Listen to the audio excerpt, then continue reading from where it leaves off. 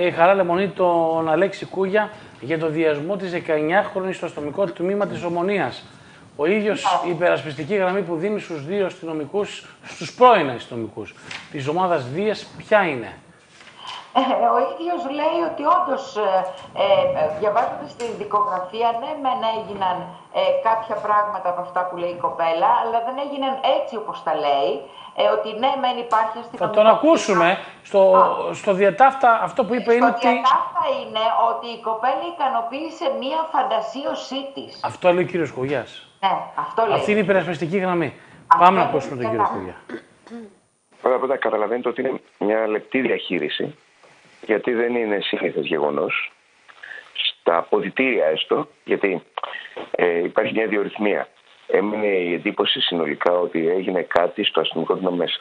Να σας πω ότι σε αυτό το μέρος, που είμαι βέβαιος ότι το γνωρίζετε αυτό το ρεπορτάζ, υπάρχει με ένα αστυνομικό τμήμα, αλλά αυτό εδρεύει στο δεύτερο και τον τρίτο όροφο. Το ισόγειο και ο πρώτος όροφος στο παρελθόν ήταν αστυνομικό τμήμα. Πλέον δεν είναι αστυνομικό τμήμα και έχουν μείνει κάποια υπόλοιπα εγκαταστάσεων που εκεί στο ισόγειο ήταν η τραποτήρια.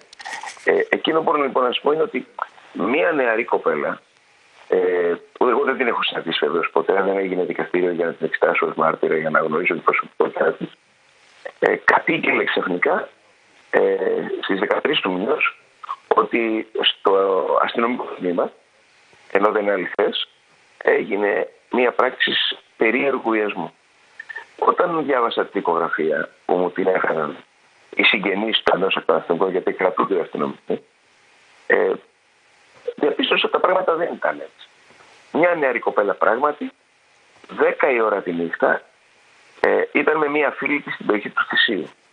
Μαζί με τη φίλη της πλησίασαν τέσσερις αστυνομικούς της Δίας που ως συνήθως σταματάνε για να πάρουν κάποιες ανάσες με τις μηχανές τους και άρχισαν να τους φλερτάρουν.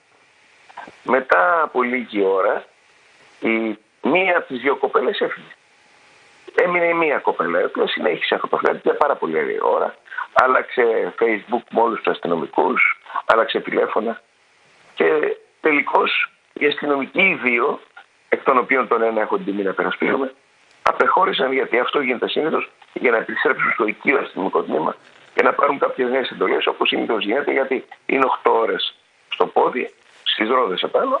Ε, ενώ λοιπόν έφυγαν οι δύο αστυνομικοί, μετά από μια μισή ώρα η κοπέλα αυτή πήγε τους μόνη της, δηλαδή δική της πρωτοβουλία, επικοινώνησε μαζί τους και τους είπε ότι ε, βρίσκεται έξω από το, σε εγκαταστάσει που είναι το αστυνομικό τμήμα, σε μια καφετέρια. Κατέβηκαν οι δύο αστυνομικοί, τρεις μάλλον αστυνομικοί, ε, και μιλούσαν μαζί.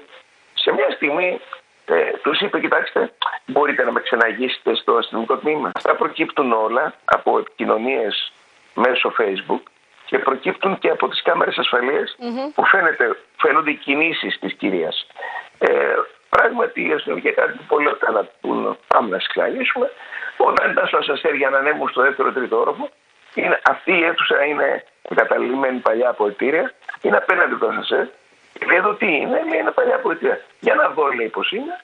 Ε, μπήκε μέσα με τους τρεις αστυνομικούς και κατάλαβαν ότι κάτι άλλο συμβαίνει. Πράγματι, εκεί είναι και πολλοί από τα τους και εκεί υπάρχει ας το πούμε μια πειθαρχική παράβαση γιατί εν ώρα υπηρεσίας είναι σε κάθε περίπτωση ανεξάρτητα αν δεν ήταν ώρα υπηρεσίας στον δρόμο, αν ήταν εκεί, κάνουν τη βαρδιά τους. Μπήκαν και τρεις μέσα, ο ένας έφυγε, μετά έφυγε και ο δεύτερος αυτός, ο οποίος περιοριστίζομαι εγώ, και έμεινε ο ένας ο νεαρότερος. Ε, από ό,τι λέει στην κατάθεσή της, άρχισαν να φυγούνται χωρίς η κοπέλα να της δράσει.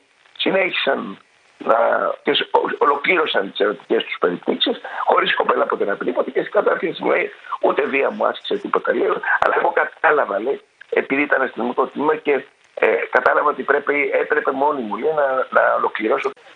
Ε, αυτό, ε, όπως είδατε, η μεταχείριση των αστυνομικών εκ μέρους ίσως του αυστηρότερου εισαγγελέα που υπηρετεί αυτή τη στιγμή στο, στην εισαγγελία Αθηνών και από τον κύριο Ανακριτή, που επίσης όταν πρέπει να βάλουν κάποιο στη φυλακή, τον βάζουν σε ποιε διαδικασίες, ήταν τυπική.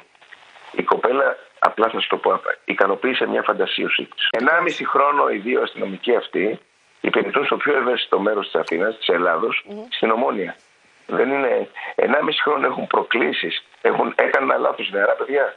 Και επειδή Όχι. υπέκυψαν τη φαντασίωση Α. μιας ε, κοπέλας και γι' Κύριε αυτό και Κουγιά, κρίθηκαν αυτό όπως που- κρίθηκαν έτσι. αυ- Άλλο να κάνεις μια παράνομη πράξη και άλλο να υποκύψεις σε κάτι που δυστυχώς ε, πρέπει να κρυθεί, αλλά όχι με αυτό το σκληρό τρόπο. Να Εντάξει. Δυστυχώς ε, παρορμητική αντίδραση και μιλάμε για τη φύση έτσι. Κανείς δεν μπορεί να πολεμήσει τη φύση. Πάμε τώρα και σε κύριοι, μένουμε εδώ πέρα. Πάμε γρήγορα να δώσουμε απάλτο τάλ το νούμερο.